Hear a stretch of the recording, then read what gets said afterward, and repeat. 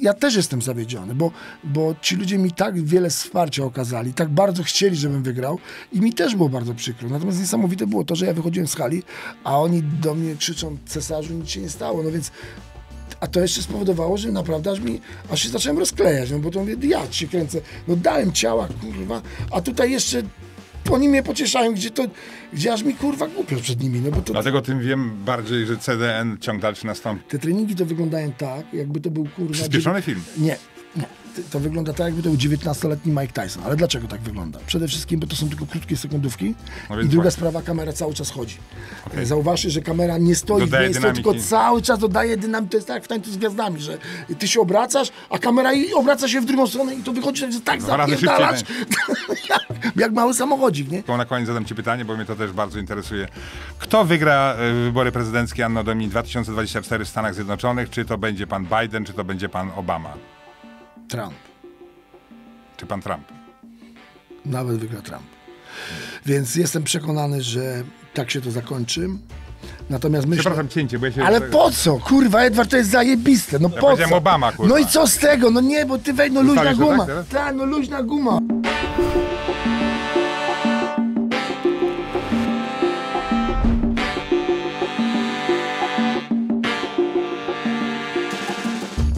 Witajcie serdecznie. Dzisiaj moim gościem w Durda Show jest człowiek, e, który ma w sobie ogromną pogodę ducha, człowiek, któremu niestraszne wydają się wszelkie trudności życiowe, człowiek, od którego można czerpać rzeczywiście optymizm. Marcin Najman we własnej osobie. Witam cię serdecznie. Marcin, znamy się już kilka, kilka ładnych lat. Myślę, że mm, to już w dziesięciolecia chyba idzie.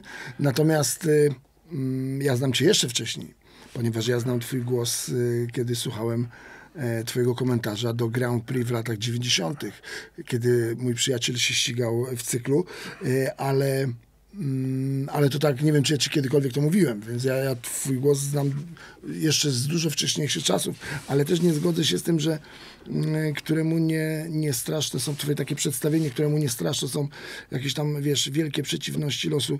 Edward, ja jeszcze takich nie spotkałem na swojej drodze i dzięki, dzięki Bogu i mam nadzieję, że takich spotykał nie będę, a przynajmniej jak najmniej ja jeszcze trudnych takich chwil w życiu nie spotkałem. No tak, trudna kategoryzować chwila, oczywiście, Trudna tak. chwila to jest, wiesz, to jest to, to, Śmierć to, to, jest- bliskich, to, to jest tak choroba, dalej, to jest choroba i, i śmierć bliskich, także odpukać nic takiego mnie Ale faktem spotkało. jest, że masz w sobie rzeczywiście e, optymizm człowieka niestrudzonego. Wiadomo, że po drodze twojej sportowej rywalizacji zdarzały się różnego typu sytuacje.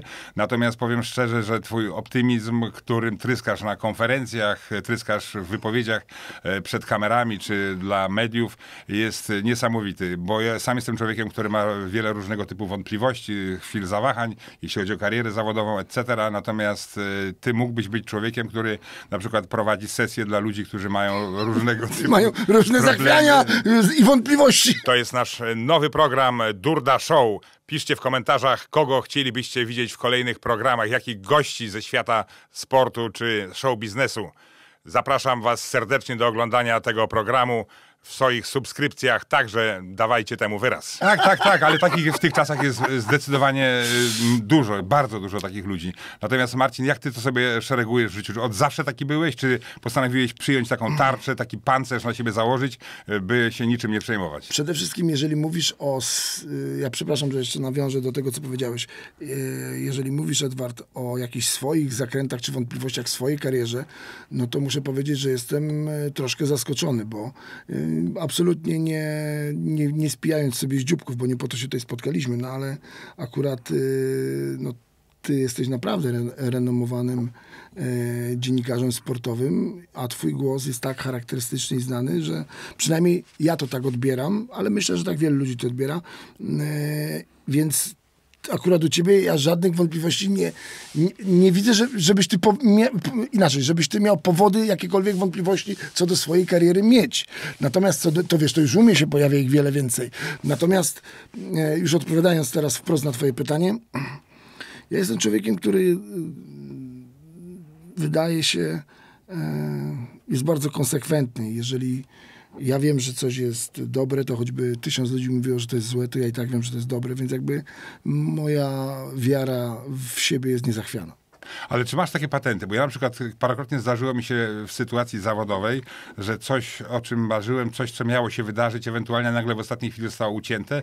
I pamiętam, na przykład cały dzień chodziłem z tym problemem, męczyłem się, męczyłem i w końcu wymyśliłem sobie onegdaj, że kupuję sobie coś takiego w sklepie półlitrowego, siadam sobie sam ze sobą, wypijam to i kładę się spać. Rano się budzę skacowany, ale to już jest jakby przeszłość, to co działo się poprzedniego dnia. Dodatkowo jestem raczej zobligowany wobec swojego organizmu, by leczyć kaca i nie myśleć o tych innych imponderabiliach. Czy masz taki patent, że Marcin Najman po jakimś zdarzeniu ma te chwilę rozterek, zmęczenia psychicznego i coś takiego uciekasz wtedy w jakąś inną okoliczność? Jak to wygląda? Mam e, obecnie wielkiego kaca moralnego, ale moralnego, ponieważ ten, ten e, alkoholowy no, nie załatwia sprawy, ponieważ ten drugi dzień jest dużo gorszy niż, niż te myśli z dnia poprzedniego, przynajmniej u mnie tak to bywa. Teraz mam wielkiego kaca moralnego, olbrzymiego i cały czas próbuję właśnie sobie pewne rzeczy uporządkować, wyjaśnić, wytłumaczyć, jak to jest możliwe, że mówię tutaj o tym starym, o tej starej gangrenie murańskim, jak to jest możliwe, że taki niełuk, taki łachmyta, taki, taki zły człowiek miał tak ogromne szczęście, a że szczęście, ale też to wypracował, no bo ja, ja napadając go, to wiesz, on też się nie, nie okopał, tylko próbował jakby to, on się, ja go spychałem, ale on próbował podejmować, więc to też nie jest tak, że on też pracował nad tym, ale, ale jak to jest możliwe, że on mnie mm, trafił i samo trafienie to nie jest nic wielkiego, bo w tym sporcie trafienia to przecież to jest normalna rzecz, tylko że trafił mnie w ten sposób, że mi uszkodził oczodu, że przestałem po prostu widzieć. No i to jest, i to jest, nie, i to jest coś, czego ja nie potrafię wytłumaczyć. No, być może znaczy, o widzisz, no i teraz wracamy do punktu, bo, bo, bo pytasz mnie, jak ja to robię czasami, że te, te swoje zakręty, ale to moje wewnętrzne zakręty jakoś próbuję przebyć.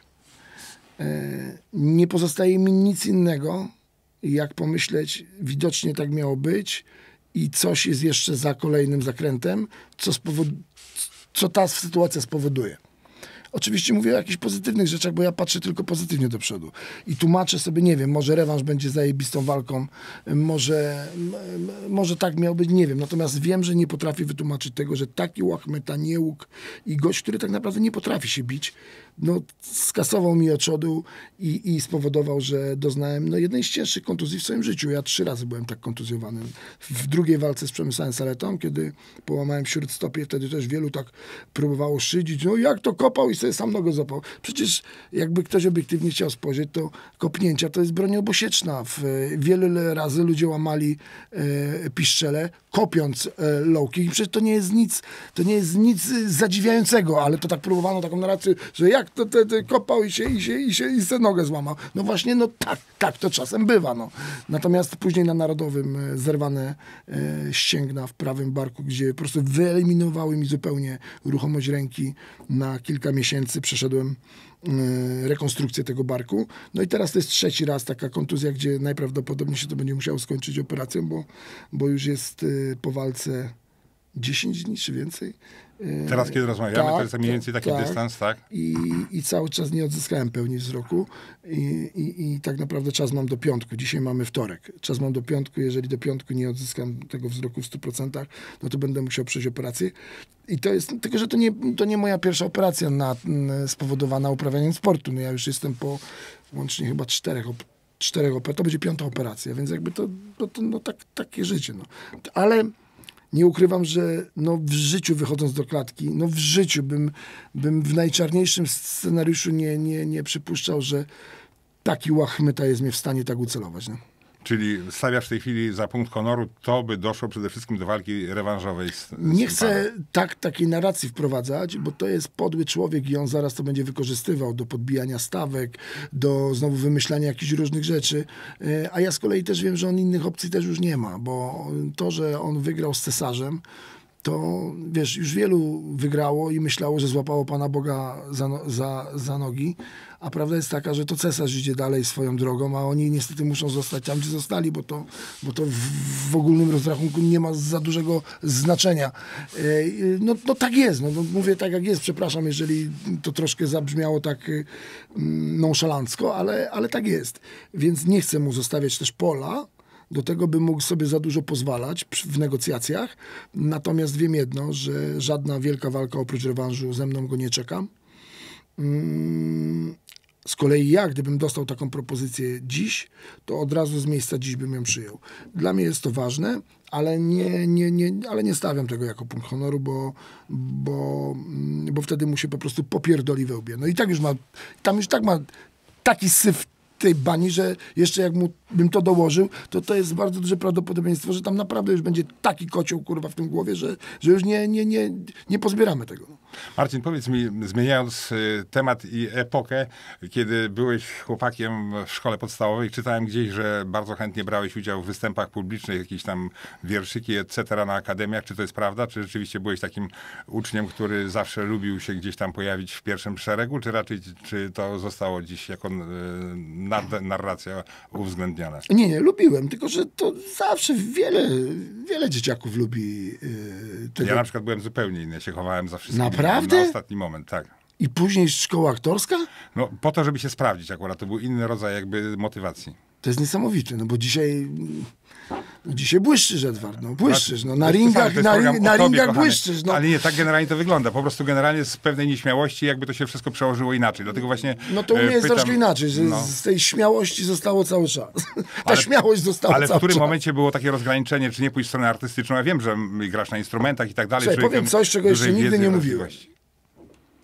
Chyba nigdy jeszcze nie, tego nie powiedziałem. Ja byłem nawet na konsultacjach i na przygotowaniach do egzaminów do szkoły aktorskiej. E, Jako absolwent e, liceum muzycznego miałem taki pomysł. E, Ale życie inaczej. Ja się zawsze kieruję sercem i pasem. Naprawdę. To jest dla mnie. y, Poza tym nawet nie muszę mówić naprawdę, no bo tak jest, bo to, to naprawdę to powoduje, że to się staje mniej wiarygodne.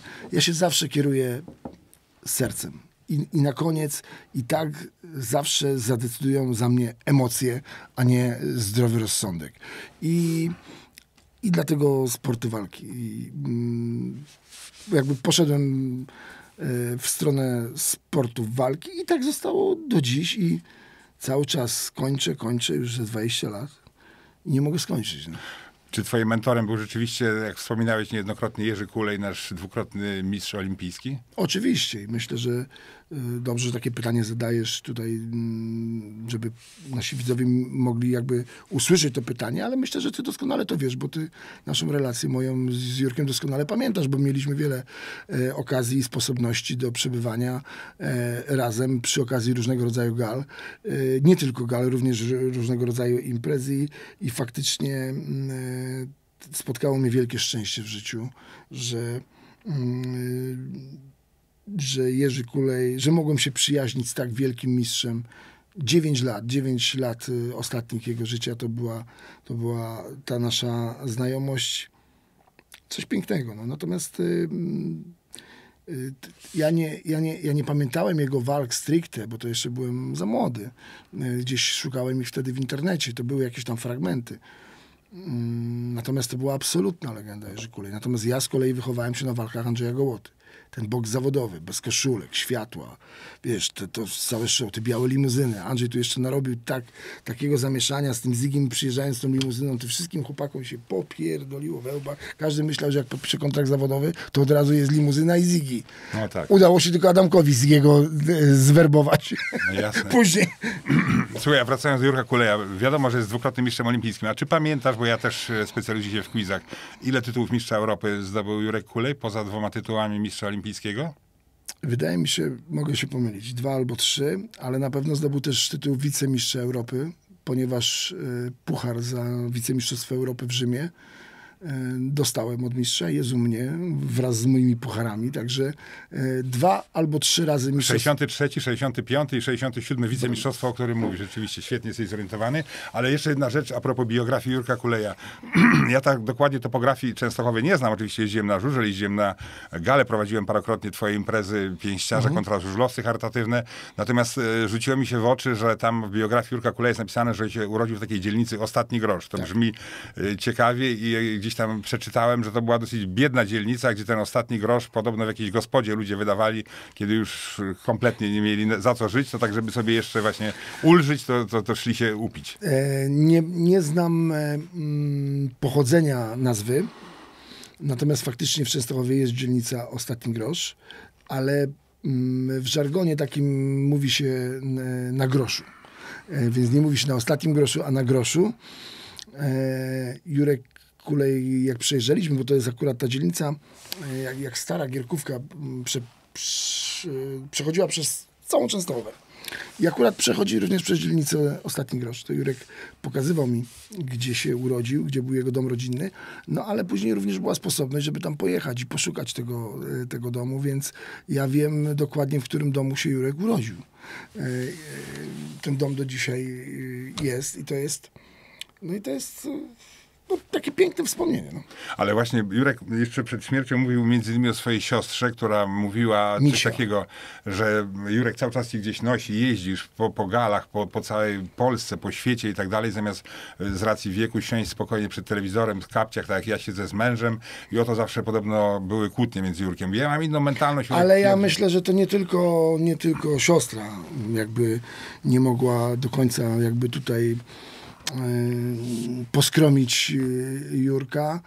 E, Myślę, że tam więcej osób z, takiego naj, z takiej najbliższej rodziny miało trochę kłopot z tym, że, że on tak dużo podróżował, a jeszcze większy kłopot mieli z tym, że wspólnie tak dużo podróżowaliśmy, a podróżowaliśmy cały czas i mieliśmy, nas dzielił wiek, ale generalnie Mentalność mentalność i nastawienie do życia to było to samo. Ja właśnie jestem przekonany, że ty masz podobne y, kwestie, jeśli chodzi o kwestie I, i, my żyliśmy, I my żyliśmy dokładnie tak samo i, i to samo mnie również 100 osób może od czegoś odciągać, a ja i tak na koniec się obrócę i pojadę, gdzie miałem jechać. No, więc to jest, y, to jest ta sama mentalność. I poznałeś i polubiłeś się razem z inną nietuzinkową postacią, Sławkiem Drabikiem, człowiekiem, który jeśli chodzi o spokój życiowy, to raczej miał z tym, no, jeśli chodzi o karierę zawodową, to dosyć e, bardzo e, sukcesów obiecujących mnóstwo, natomiast jeśli chodzi o takie ułożenie, to różnie z tym bywało. Słuchaj, generalnie Sławek Drabik to był mój pierwszy,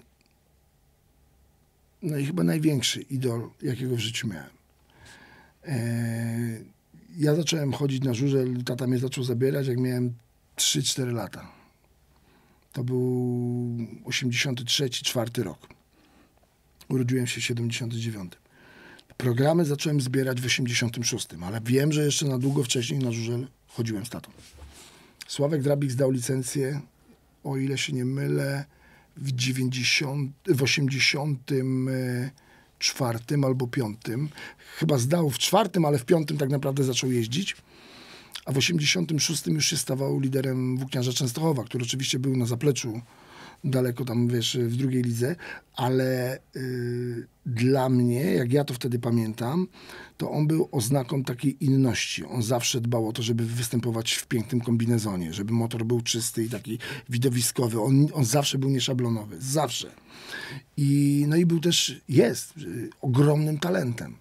E, I dzisiaj z perspektywy czasu, jak patrzę, bo też przecież mam, mam okazję, mm, e, miałem okazję przez wiele lat też obserwować Tomka Golloba. Też e, serdecznie Tomka z tego miejsca e, pozdrawiam. Mm, e, No to widzę jednak różnicę w prowadzeniu karier. I teraz jest takie bardzo ważne pytanie, bo Sławek żył pełnią życia. Ja, wiesz co, najfajniejsze jest to, że ja z nim o tym rozmawiałem z miesiąc temu. Bo my tak czasem mamy takie wieczorki piątkowe, tak jak mieli artyści jakieś tam takie piątkowe, nie, były te czwartkowe obiady Tak, u króla Stanisława. tak. Są cesarskie piątki. To są cesarskie piątki. Ale przy czymś czy raczej Tak, no Oczy, oczywiście, że przy czym y, jak trenujemy, to oczywiście nie, nie ale, ale generalnie na roztrenowaniu to są cesarskie piątki i, i my dużo wtedy sobie dyskutujemy. I, i ja y, o tym z nim rozmawiałem i znałem podejście y, moje do życia i sportu, znałem podejście jego i znam podejście Tomka Golloba. Oczywiście na pierwszy rzut oka widać, kto osiągnął najwięcej. Wiadomo, Tomasz Gollob, mistrz świata, absolutnie najlepszy e, zawodnik w historii Polski. E, jeden z, naj, z najgenialniejszych żużlowców świata, w ogóle wszechczasów. Tomek od kiedy otworzył oczy, bo też miałem z nim okazję o tym rozmawiać. Jak otwierał oczy rano, to już myślał o żużlu, zamykał oczy i też myślał o żużlu. Eee, Sławek mm, bardzo dużo myślał o żużlu, ale nie przestawało mu to też po prostu żyć Okej. jako młoda, barwna postać, nie tylko na stadionie, ale również w klubach częstochowskich i nie tylko. Więc on, on czerpał z życia garściami. I, kiedyś z nim o tym rozmawiałem, że Sławek, bo przecież on się otarł o brązowy medal indywidualnych Mistrzostw Świata we Wrocławiu w 92 roku. No przecież gdyby on tylko dowiózł te punkty, które już wiózł, raz miał defekt na pierwszej pozycji em, w pierwszym biegu, gdzie trzech Duńczyków ograł, e, to już stracił trzy. Później miał upadek, gdy przechodził na drugą pozycję. Wygrał z Havelokiem jako jedyny wtedy z, z mistrzem świata. I on się otarł o brązowy medal indywidualnych mistrzostw świata. I ja uważam, że talentem on na taki tytuł, ja bym go porównał yy, z Craigiem Boysem. To był taki zawodnik, że to nie był ten, który mógł zdobyć tytuł. Być, znaczy w jednodniowym finale może tak, bo jednodniowy finał to był jednak troszkę inna historia. Tak. Ale nie w Grand Prix.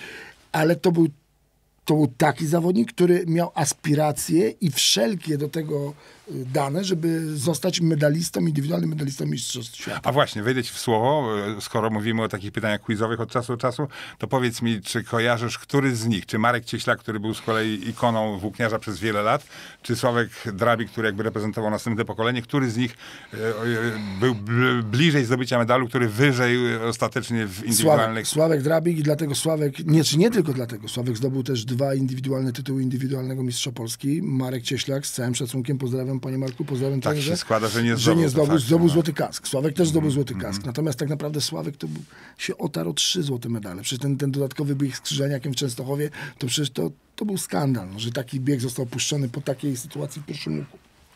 Ale nie o tym. Marek Cieślak, z tego co ja pamiętam, na Wembley był 12 i 14, w dwóch finałach chyba jechał na Wembley. Tak, najlepsze miał 12 miejsce, tak. Ale był też chyba 14 albo 15. Sławek Drabik był 11, tam egzekwo chyba od miejsca. raz był dziewiąty. Właśnie wtedy, co ty E, mówisz nie, nie, to, to właśnie tak, wtedy tak. był 11. Tylko, że wtedy chyba było, ja, ja nie do końca pamiętam, ale być może było tak, że mieli równą ilość punktową z tym, co był dziewiąty, tylko, że tam decydowały różne, najpierw decyduje wynik bezpośredni, później kto ma więcej zwycięstw i, i, i z- skończył na 11 pozycji, więc Sławek był wyżej.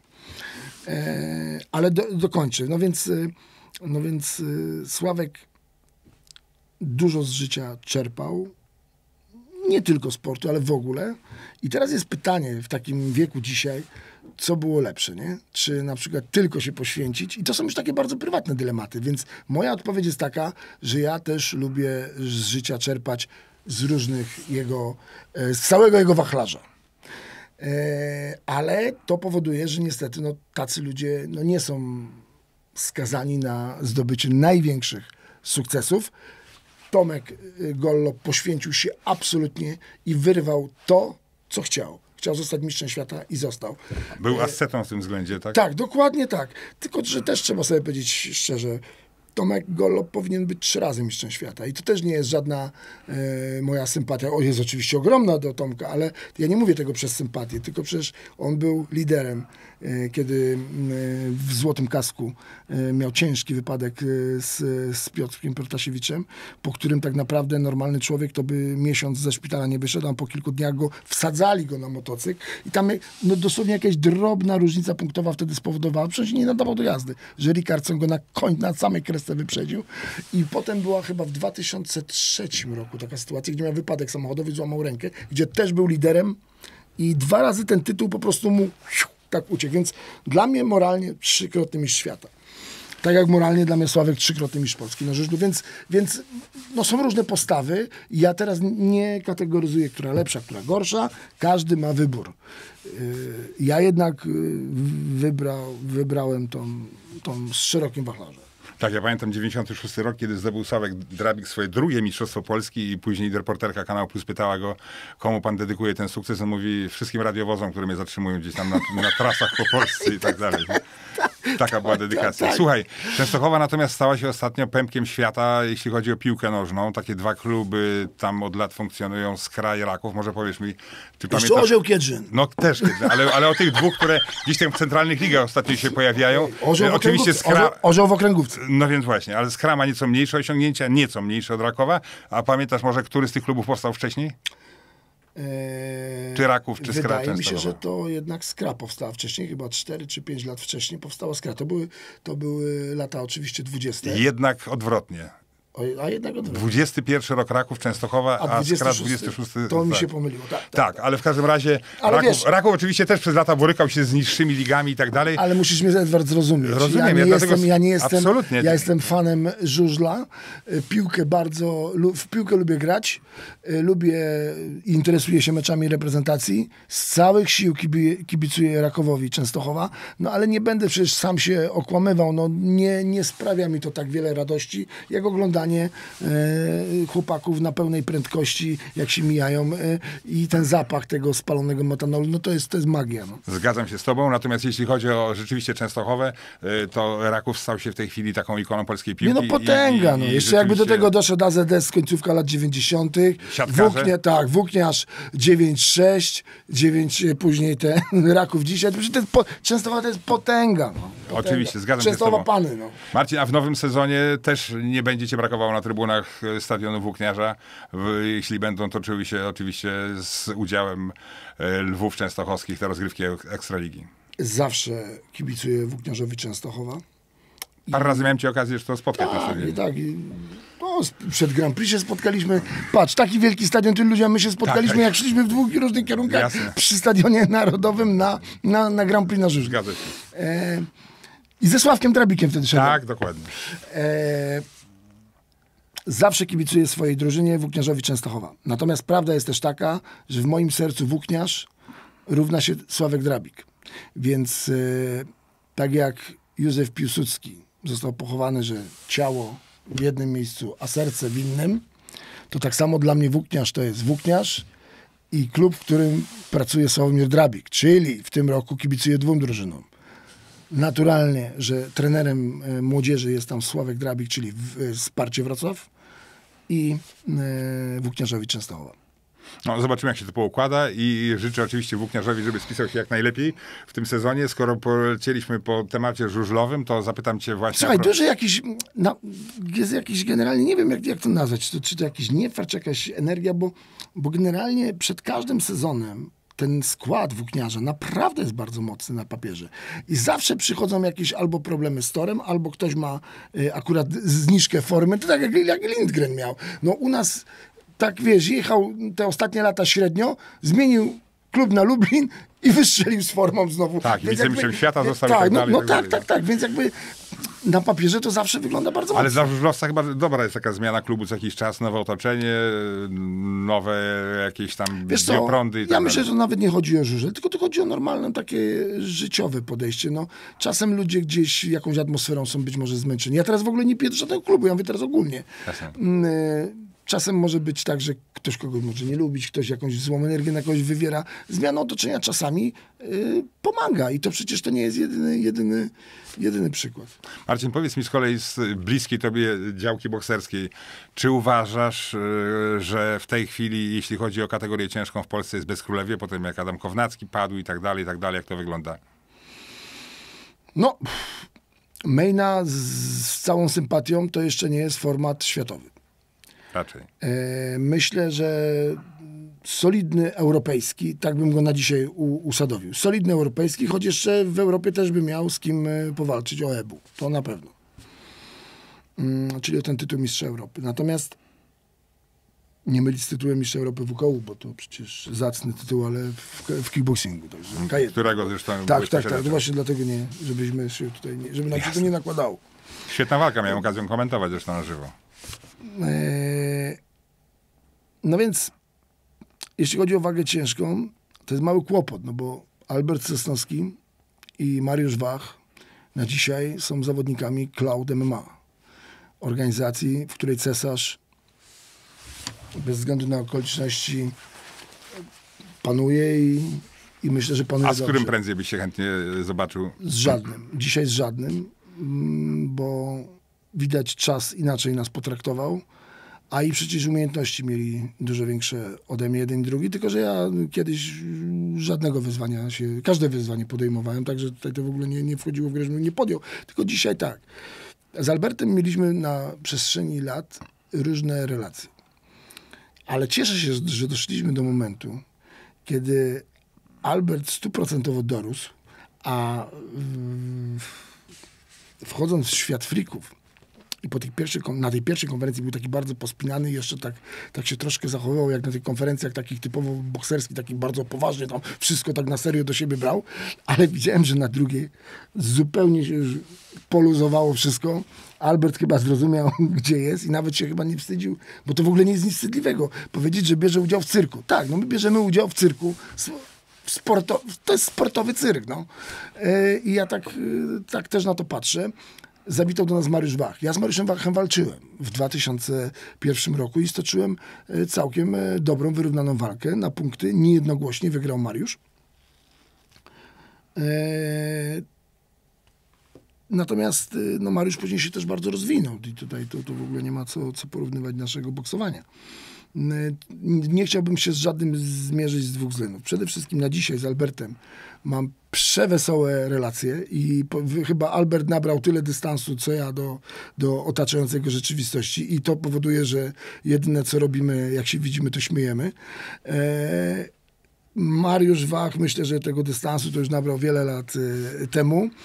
Więc naprawdę dzisiaj no, z tymi kumplami nie chciałoby mi się rywalizować, a mm, w MMA oczywiście, że to tam, w MMA się wszystko może wydarzyć, No tak. ale, ale ja nie, no ale ja to mam, wiesz, no jak skoro się okazało, że ja mam problem z jakimś, kurwa, niedojdą murańskim, to ja tu mam sprawy na dole do pozałatwiania, gdzie tam się pchać na górę, no.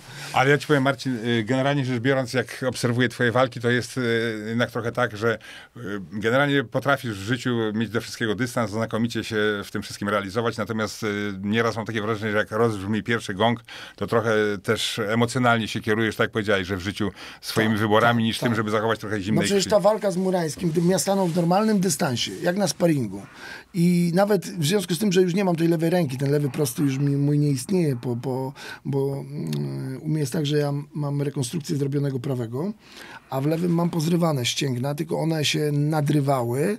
To, to, to był etap od 17 roku się to dzieje, więc one na dzisiaj, ta ręka, ona funkcjonuje, ma ograniczony zakres ruchów, ale funkcjonuje, a tutaj było zerwane w momencie i ta ręka zupełnie straciła y, swoje możliwości, więc ten lewy po prostu mnie de facto jest na dzisiaj bardzo kiepski i gdzieś tam trenuje i tyle lat tam czy- czytam komentarze, tyle lat trenuje i się nie nauczył bić. No właśnie tyle lat trenuje, że się nauczył, dobrze bił, a tyle bił, że już teraz nie może bić. No więc I, to na tym to, I na tym to polega. No, tak jak Andrzej Gołota stracił lewą rękę w wypadku i przecież stracił lewy prosty, stracił lewy sierpowy, miał takiego kikucika, tą, tą lewą rękę, gdzie z tym kikucikiem, tak powiem, wygrał de facto dwie walki o Mistrzostwo Świata, bo już tej lewej ręki nie miał Andrzej. Więc, więc y, ale d, d, d, żeby się tak nie rozwodzić, wystarczyło stanąć w dystansie z chłodną głową, kontrować go z dystansu i przecież on, on jest tak prosty do, do, do walki. No, no ja, ja sam nie mogę uwierzyć, że, że dałem się tak podpuścić atmosferze w hali. Bo Ale my- właśnie, ty ubierasz tę atmosferę w halach i dajesz bo- się wtedy elektryzować, bo to prawda. my na, na rozgrzewce ćwiczyliśmy napad, ale to miało być maksymalnie 6 ciosów. A okazało się, że zamiast 6 to było 36. No, no i przedłużyło się. Ale jak się miało nie przedłużyć, jak 15 tysięcy ludzi w Atlas Arenie krzyczy Najman i i żąda od cesarza e, ubicia. córka, która cię uwielbia. Dziękuję bardzo, proszę pozdrowić. Gdzie y, lud domaga się od cesarza ubicia starej gangreny, ubicia tego barbarzyńcy y, ku, ku uciesze całego ludu, a niestety cesarz poległ i to też chciałbym, żeby to bardzo jasno wybrzmiało.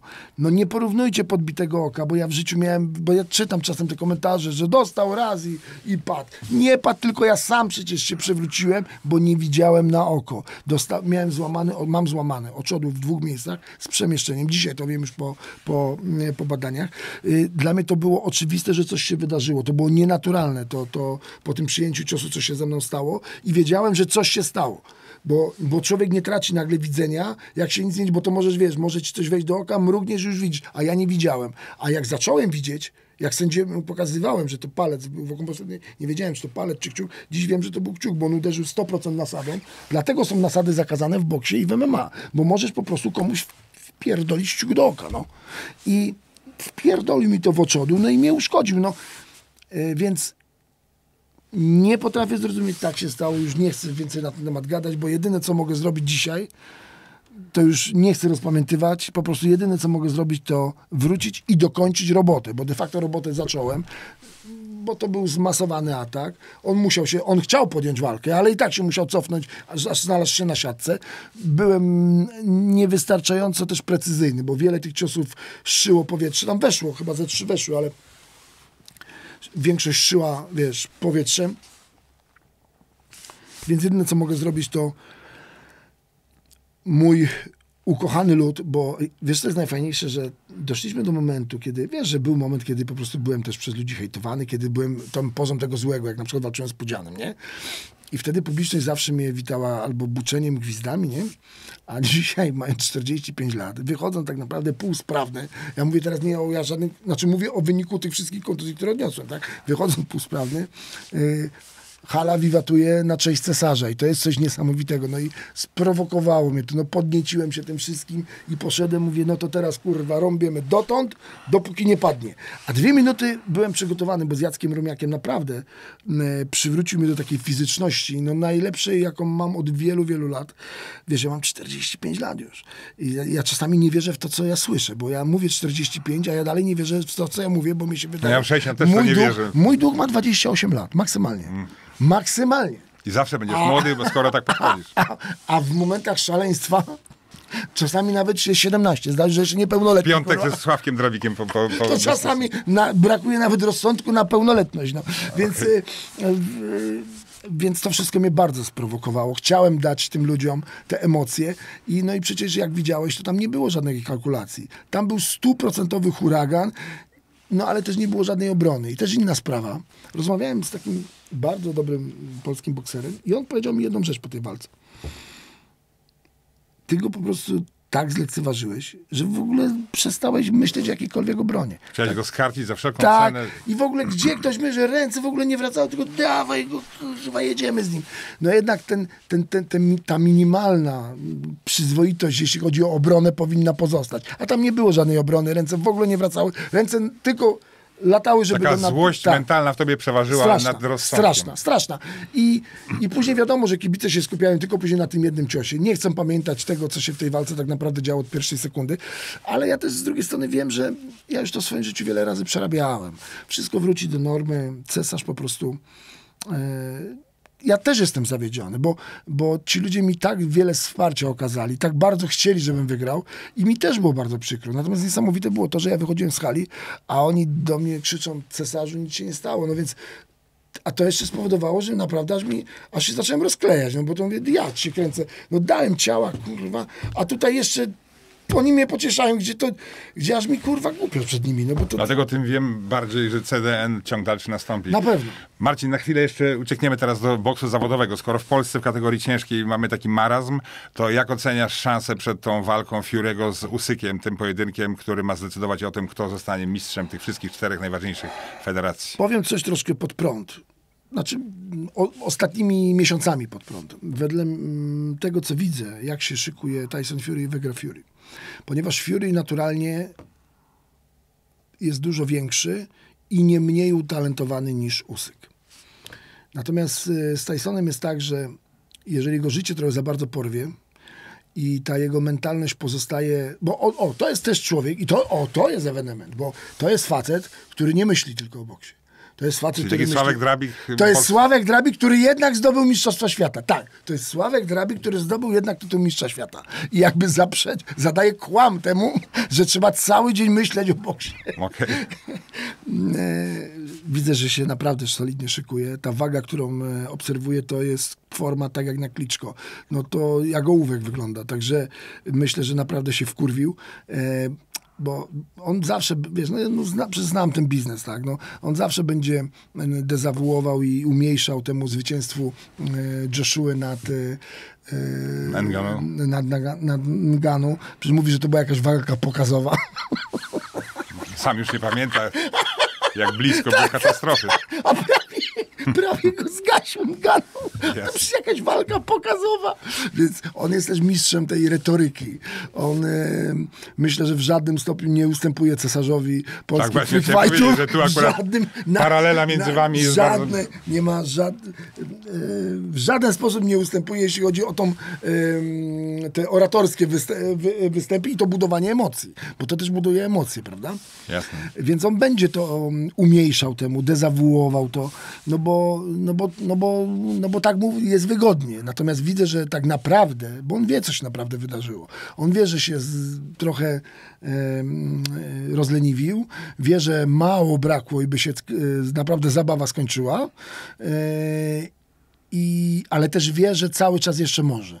No bo y, widać ta forma, którą na dziś już zbudował, pokazuje mi, że no Usyk nie, nie, Usyk nie wygra tej walki, choćby, choć nie wiadomo, choć jest genialnym pięściarzem, choć nie ma pierdolnięcia, no to też sobie trzeba powiedzieć szczerze, no nie ma uderzenia Usyku. No tak, tak, musi nie ma. pracować Jest, ciężko. jest, gen- on musi, on y, tam Joshua, czy ktoś tam w 11 rundzie się zachwieje, ale to jest po, nie wiem, po 300 ciosach, które już oberwie, w końcu dostanie kolejny, no i w końcu go tam gdzieś zacznie telepać, ale, bo tak też y, Chisora też, y, War Chisora, No tak. y, też się na sam koniec gdzieś zaczął, kolega. zaczął, tak, znaczy kolega być może za duże zdanie, ale ciekawostka, y, napisał do mnie i poprosił numer telefonu, bo chciał pewne kwestie wyjaśnić sobie. y, Tak, tak, a propos twojej... Tak, wypo- nie, a propos jego wypowiedzi, Okej. tylko że skomentowanej przeze mnie. Przez ciebie, tak. Ktoś musiał mu to y, przetłumaczyć. Czyli on zaczął jakby.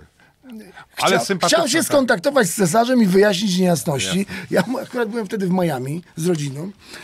Na, y, poprosił o numer telefonu, więc ja mu ten numer przekazałem. Byłem wtedy w czapeczce Warcisora, zadzwonił do mnie przy śniadaniu i żeśmy sobie po prostu wyjaśnili to, co się wydarzyło, bo on stwierdził, że e, jak się ten Dibuła przegrał z Usykiem, ponieważ e, walczył w białym kraju, to wszystko podszył jakimiś wielkimi rasistowskimi, bo to naprawdę to były wręcz tak żyją, tak, rasistowskie tak, tak, e, takie teorie, że, że to biali nie dali wygrać czarnemu. No to było niesamowite. Ale u nas było odwrotnie. Gołota walczył, też mówili, że murzyni nie dadzą wygrać Gołocie. Pamiętasz? Tak przez lata pokutowały takie teorie. Ja pamiętam... Jak nie- Gołota może wygrać, ja skoro to- walczy z Murzynem? Ja pamiętam jeszcze innych troszkę określeń, ale to one się nie dają tutaj do powtórzenia, bo nam, bo nam kanał ściągną. Ale pamiętam, że faktycznie pod, podsycało to takie Dokładnie tak. emocje. Słuchaj, a propos twojego cesarstwa yy, W każdym walka, razie wyjaśniliśmy sobie i mi chodziło tylko o to, że starałem się Derekowi wyjaśnić, że nie ma ludzi, m, że to nie chodziło, w, bo ja też uważam, że, że tam był błąd y, w tej walce, że, m, bo tam chodziło, już nie pamiętam chyba o, No ta- o, o liczenie o ten, ten cios. pas, tak, tam czy że poniżej, czy powyżej i tak dalej. No więc, mm, więc ja, ja pamiętam, już teraz nie pamiętam dokładnie o co chodziło, ale wiem, że y, przychylałem się ku temu, że DBUA ma rację. Y, ale to nie był wynik tego, że sędziowali biali, tylko to był wynik tego, że po prostu albo się ludzie pomylili i tyle. Jeden pas był podciągnięty i Dokładnie tak. tak, no. Cizora ma zresztą rogatą duszę, to jest też facet z e, charakterkiem tak zwanym. Natomiast... e, Więc cieszę się, że ta rozmowa nie poszła się w tym kierunku. Jasne. Że mogliśmy normalnie sobie się pożegnać i dalej, i, mogłem da- i mogę dalej nosić czapeczkę do mnie. I super. Powiedz mi, walka Tysona z Jackiem Paulem ma sens i jak uważasz, bo tam ostatnio pojawiły się te obrazki Mike'a Tysona, który Ma niesamowitą. Ma energią się wykazuje. Powiem wam, dlaczego ma sens. Nie wiem, czy się e, ku takiej opinii przychylicie, natomiast ona ma sens z jednego powodu. Mike Tyson to człowiek, który zarobił setki milionów dolarów na boksie. Roz, ale wydał jeszcze więcej. Problem w tym, że wydał jeszcze więcej. E, a ta walka da mu ogromny komfort finansowy. Ogromny. Ogromny. I on moim zdaniem po tej całej utracie wielu, wielu, wielu jakby rzeczy, wielu, wielu spokoju, zdrowia tak samo, bo to są trudne sytuacje będzie miał naprawdę okazję na podreperowanie e, swojego budżetu i to nie mówimy o drobnych, tu nie mówimy o to, żeby mu tam na, na telefon i na gaz starczyło, tylko tutaj naprawdę będzie mógł w końcu poczuć się jak w latach e, 80. Ale komu dajesz szansę na zwycięstwo większe? Yy, Bo ten Jack Paul to jest taki też... znaczy y, taki rozrabiaka, no, No. ale rozrabiaka, który całkiem dużo się nauczył. To prawda? Całkiem dużo się nauczył. Widać jeszcze w tych podbródkowych, że to są takie ciosy takiego, mm, takie nie, takie nieokrzesane, takie jeszcze, tam nie, nie ma w tym, widać, że tam nie ma e, 15 lat e, trenowania tych ciosów, tylko widać, że tam się jakiś czas temu nauczył, ale kurwa wali ile wejdzie, nie boi się, no i po kolei tam w boksie wyjaśnia tych z no po kolei. Mayweather, no przecież tak naprawdę chyba już zakończył definitywnie nawet te walki pokazowe po walce e, z Jackiem Paulem, bo no jest skubany niemożliwy, więc ja nie wiem jak będzie. Jak byś stawiał Bo teraz tak, te urywki świetnie to rozgrywają biznesowo.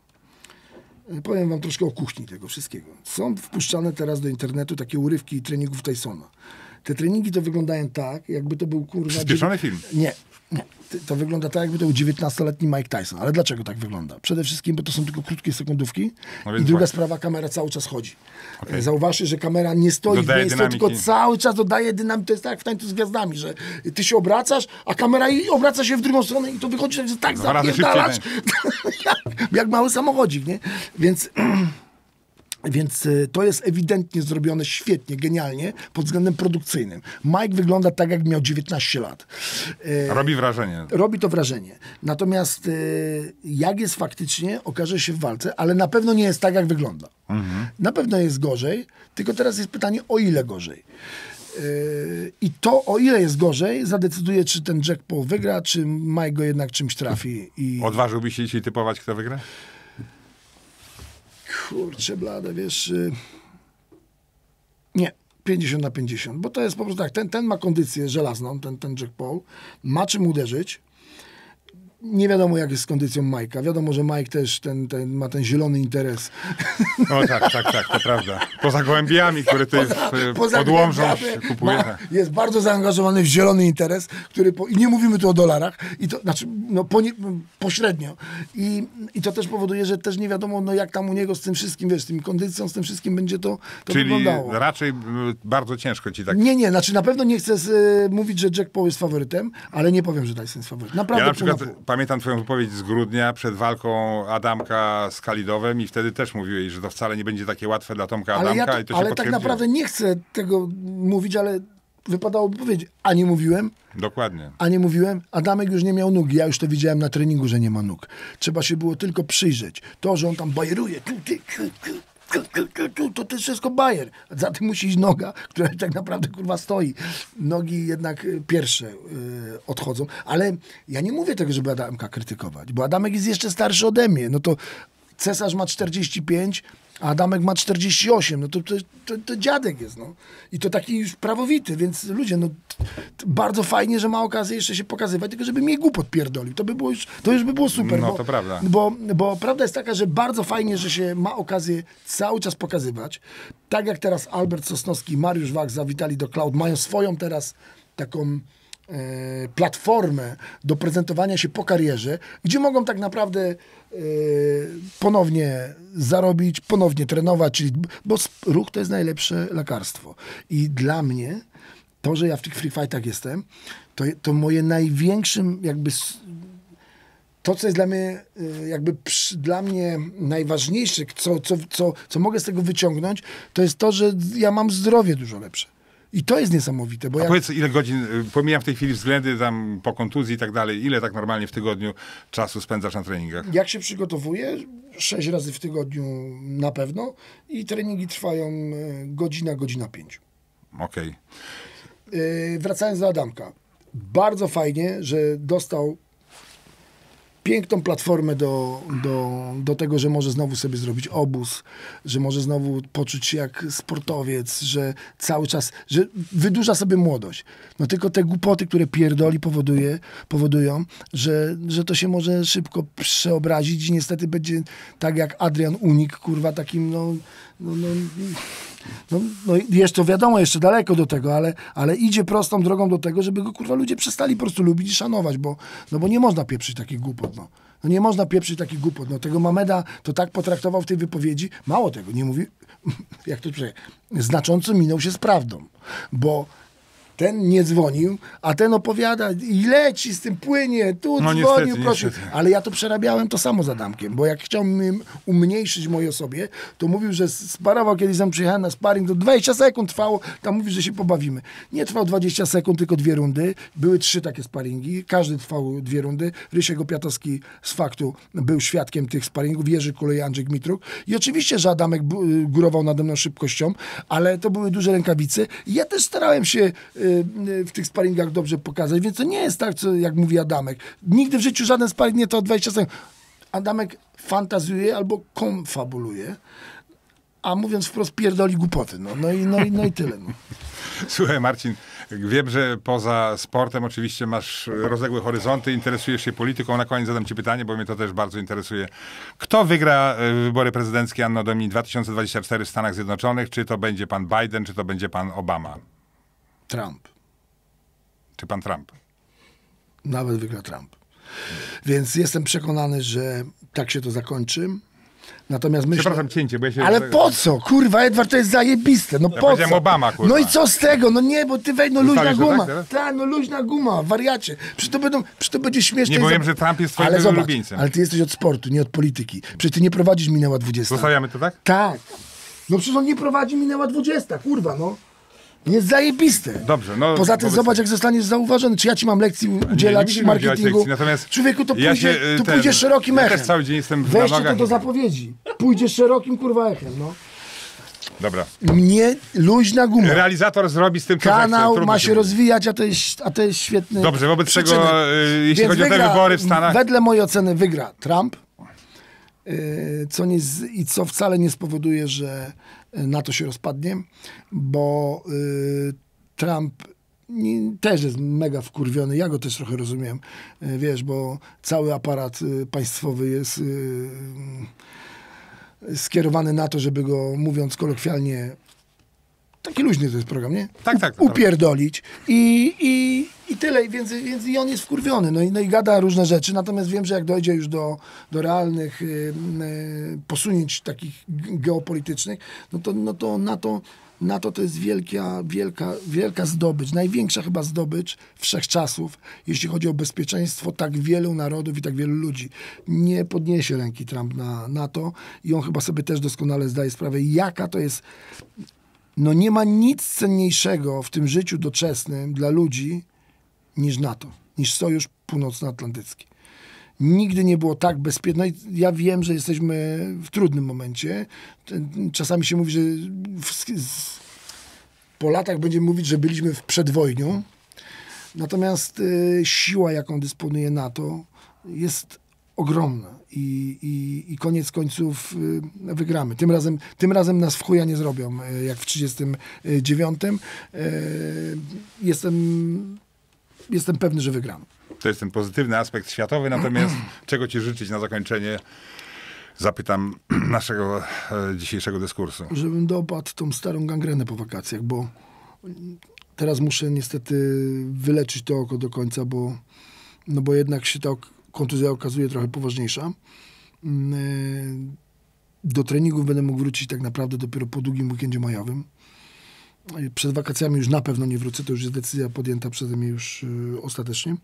Natomiast po wakacjach życzyłbym sobie, żeby dopaść tego skurwiela, bo zasługuje na to. Nie ja, tylko on. Okej. Zasługuje na to, żebym go dopadł. I ci, którzy ci zawsze dobrze życzą, w tym gronie jestem również ja. Dziękuję serdecznie. Marcin Najman był gościem Edek Show, Durda Show właściwie w tej chwili w nowej formule. Dziękuję A wam powiem wam więcej, po, po dzisiejszym programie to będzie wielkie show.